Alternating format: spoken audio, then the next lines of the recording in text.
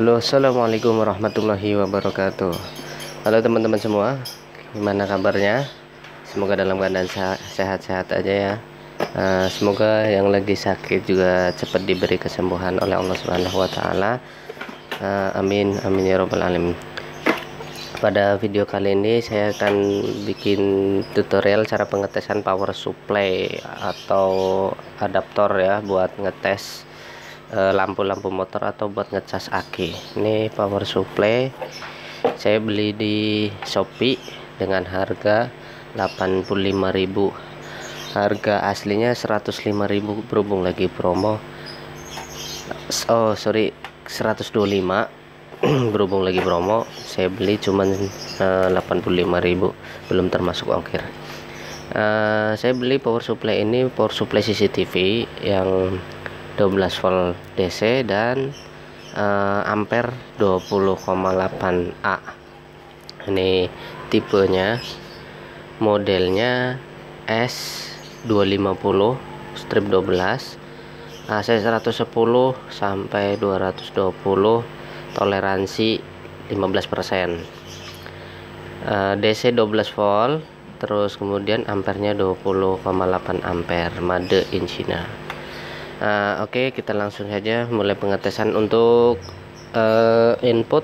Kita bedakan ya uh, input dari PLN yang 20 volt yaitu kodenya ini L sama N. L nya positif N nya netral atau negatif. Nah kemudian untuk outputnya outputnya DC yaitu ada tiga output. Minusnya ada tiga plusnya juga ada tiga. Nah di sini juga dilengkapi dengan uh, setelan ya. Itu biar bisa nyetel voltasenya uh, dan kemudian di sini dilengkapi juga dengan fan atau kipas buat pendingin si power supply. Oke kita langsung saja rakit uh, gimana coba? Nah alat yang perlu dibutuhin itu ini berhubung seadanya ya buat praktek aja ini colokan.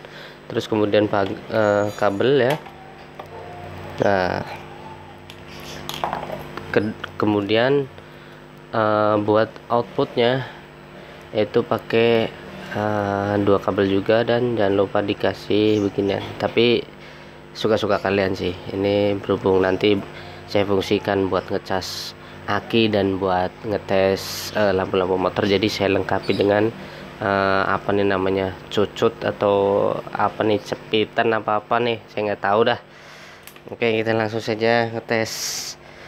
Nah jangan jangan takut kebalik ya untuk masang yang di power uh, inputnya yang di lambang tulisan L atau N nya karena kebalik pun dia masih bisa nyala kok nah kita kendorin terus kita kencengin yang untuk L nya terus kemudian untuk yang netralnya sama seperti yang L yaitu kendorin dulu masukin kabelnya baru dikencengin murnya.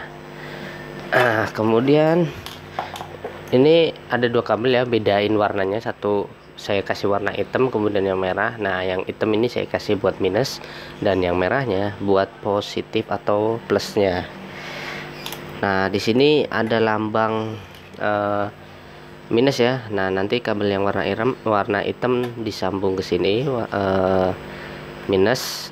Terus kemudian yang merah ini nanti disambung ke sini V plus atau uh, positif. Nah, kita langsung sambung ke minusnya.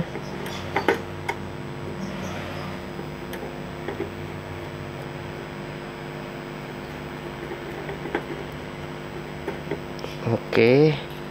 Ini minusnya terus ini positifnya disambung ke plus.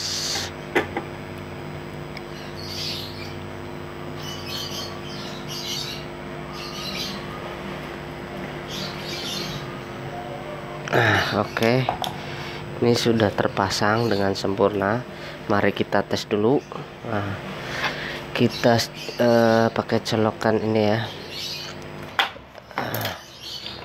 kita coba nyala nggak? Ah nyala guys. Nah ini artinya lampu uh, power supply nyala dan kipas pun nyala. Tapi untuk tegangan uh, kalau nggak kalau ada lampu kita tes pakai lampu. Kalau ada power uh, sorry tester ya kita tes pakai tester. Untuk lebih jelasnya kita arahkan ke DC dulu. Nah selanjutnya kita tes fungsi apa enggak. Nah ini kosong ya. Kelihatan? Nah. Nah terlihat uh, 12 volt DC atau 13 lebih.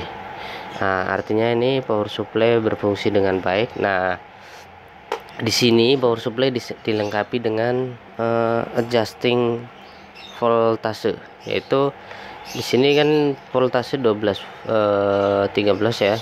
Nah di sini ini dilengkapi buat nyeting tinggi rendahnya voltase. Nah untuk kita setting eh, nambah sorry bentar saya perjelas lagi. Nah untuk kita setting nambah ini diputar ke kanan ya eh, settingnya. Contoh nih tuh naik kan naik jadi 15 volt. Terus untuk nguranginnya sebaliknya jadi berlawanan arah jarum jam atau putar ke kiri.